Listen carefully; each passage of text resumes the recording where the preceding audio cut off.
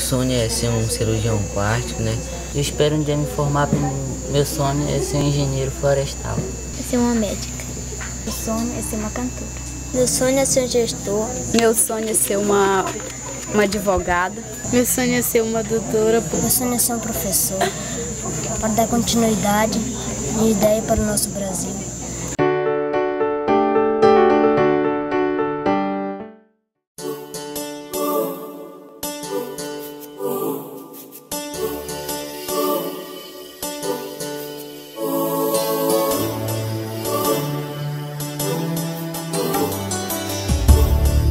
Difícil para a gente estudar e eu fiz o quinto ano, passei um ano sem estudar. Aí ficou mais difícil aí, até que surgiu a, aqui, construir a escola. Um privilégio para mim, né? Eu passei três anos sem estudar, aí depois veio essa, essa escola aqui, aí passou o primeiro ano eu vim estudar aqui, graças a Deus estou aqui. A escola funciona com seis turmas, três de fundamental, regular, e três do EJA.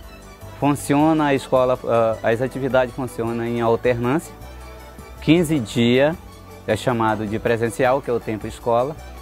Os alunos ficam na escola é, durante o dia e a noite. Aí depois passar o presencial, após 15 dias entra outra turma. E assim fica esse processo.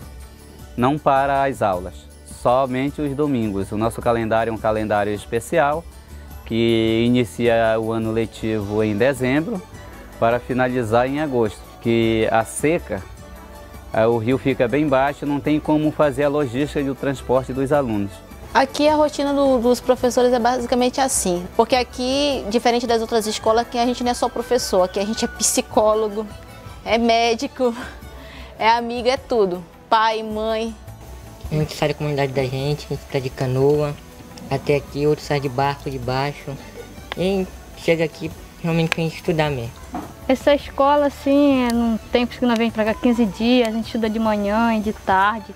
Logo no começo foi cansativo, mas agora a gente se acostumou. Aí 9 horas a gente sai para merendar, a gente volta para sala de aula, às 11 horas sai para o almoço. A gente tem um intervalo aí da meio-dia até uma hora pra gente entrar. A gente entra sala de aula e só às 5 horas. E depois disso daí a gente vai brincar, jogar bola, fazer uma coisa divertida. A gente estuda matéria de inglês, matemática, religião, geografia, geografia história, história, ensino das artes, ciência. educação física, ciência, educação ambiental. Isso é um pouco complicado, mas a gente tenta fazer de uma forma correta. A gente tem, estuda 10 matérias, a gente passa a prova de um, aí a moça tem que estudar a prova do outro, é assim. É. Às vezes tem muitas provas no mesmo dia, no né? No mesmo dia, a gente tem que se forçar mesmo, senão não tem condições. Cada um aluno cuida da sua roupa, entendeu? Tem higiene com sua própria pessoa, com onde dorme, aí tudo vai em frente. A gente dorme tudo junto, tudo apertado, mas é bom. É, ter uma escola aqui é importante porque esses alunos que moram aqui, né, eles não têm como é, ir até a sede do município, porque os pais moram aqui, os pais vivem da, da roça e da floresta, né? Então a, a escola aqui é, ajuda esses pais porque está próximo, ele sabe que o filho dele está próximo da, da, comunidade, né? A escola é importante porque traz a educação, né? Uma sabedoria, a gente conhece mais. E hoje em dia, né, se, se nós não tivermos uma faculdade, todo o tempo pegando no pesado, que é o tem que ser agricultor mesmo até nos últimos dias, né? Que Deus quiser, né? Porque eu digo para os alunos aqui, agradeço a Deus e agradeço tudo esse pessoal, que eu não sei quem cai com, com recurso, né, para cá, né?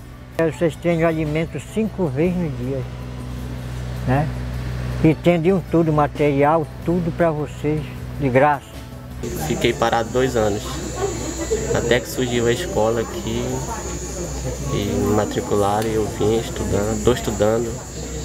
Eu, estou aqui atrás do meu objetivo, que é fazer uma faculdade para ser, ser um doutor um dia. Estou muito grato por essa escola maravilhosa que nós temos. Muito obrigado.